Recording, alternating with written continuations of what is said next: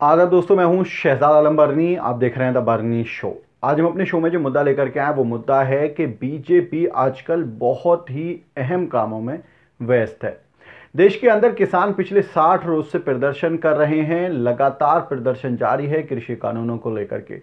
दूसरी तरफ़, चाइना ने अरुणाचल प्रदेश में साढ़े चार किलोमीटर अंदर घुस करके बाकायदा एक पूरा गाँव बसा डाला। लेकिन बीजेपी के नेता क्या कर रहे हैं? आज हम आपको कुछ तस्वीरें दिखाते हैं।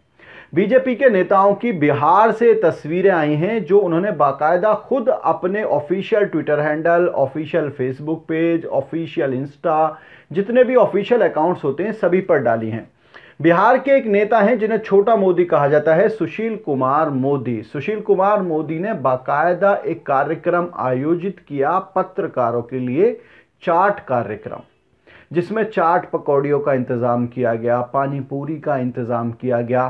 तो दूसरी तरफ़ जो गुजरात है योगी जी का, यो मोदी जी का जो गुजरात है, उसके मुख्यमंत्री विजय रूपाणी ने ड्रैगन फ्रूट का नाम बदल करके कमलम कर दिया। ये दो ऐसे बड़े काम हुए हैं बीजेपी के द्वारा जो शायद ही इतिहास में कभी हो पाते और शायद ही किसी का कभी ध्यान गया हो कि पत्रकारों के लिए चाट कार्यक्रम करना है। पहले से ही इतने चाटने वाले पत्रकार मौजूद हैं देश के अंदर कि अगर आप फहरिस्त बनाएँगे तो आपको शायद पूरा दिन निकल जाएगा और आप सोचते रह जाएँगे कि कौन कौन ऐसा पत्रकार है जो चाटता है और कौन कौन नहीं है जो चाटता नहीं है।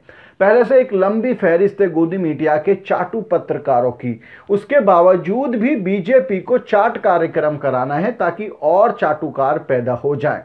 अब ऐसे में सवाल ये बनता है कि क्या सरकार की प्राथमिकता है चाट कार्यक्रम, ड्रैगन फ्रूट का नाम बदलना, स्टेशनों का नाम बदलना, शहरों का नाम बदलना, सिर्फ़ यही ज़रूरियात रह गई हैं? क्या यही काम है सरकार के और भाजपा के, या फिर कोई सीरियस काम भी देश के लिए करना है? खासतौर से अर्णब गोस्वामी जैसे लोग खुले घूम रहे हैं, उन पर कब कार्रवाई करेंगे या सिर्फ़ चाट चाटने में ही काम निकल जाएगा?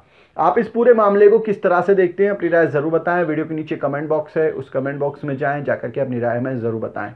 आज के इस एपिसोड में इतना ही। हमारी आपसे रिक्वेस्ट है, इस वीडियो को शेयर ज़रूर करें और हमारे चैनल को सब्सक्राइब ज़रूर करें और आप हमें सोशल मीडिया पर, यानी कि इंस्टा ट्विटर और फेसबुक पर फॉलो करने के लिए वीडियो के नीचे जो लिंक्स दिए हुए हैं, उन लिंक्स पर जाकर के आप हमें सोशल मीडिया पर फॉलो कर सकते हैं। बहुत बहुत शुक्रिया।